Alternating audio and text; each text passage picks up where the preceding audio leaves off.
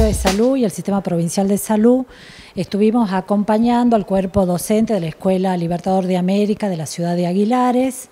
Estuvo representado también el Ministerio de Educación, nuestra Dirección General de Epidemiología y este, padres de los alumnos del jardín de infantes de ese establecimiento.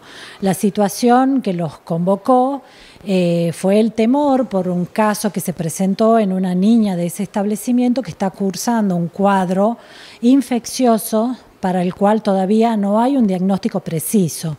La niña eh, entró al hospital de Aguilares con un cuadro importante de fiebre y de descompensación clínica y este, fue derivada al hospital de niños y en este momento se encuentra en cuidados intensivos. Se está estudiando, se está evaluando y el gobierno local nos acompañó durante el fin de semana en, en evaluar y en acondicionar el establecimiento escolar.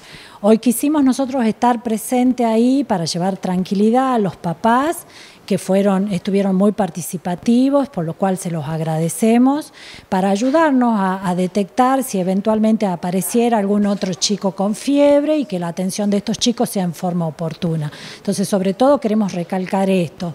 Eh, el temor en este caso es entendible, pero hay que dejarlo de lado. Lo que buscamos es y para eso necesitamos que los niños apenas tengan algún síntoma de sospecha, fundamentalmente fiebre, decaimiento, algún cambio, en su conducta, inmediatamente sean llevados a la consulta médica y que por favor no asistan a la escuela en esas condiciones.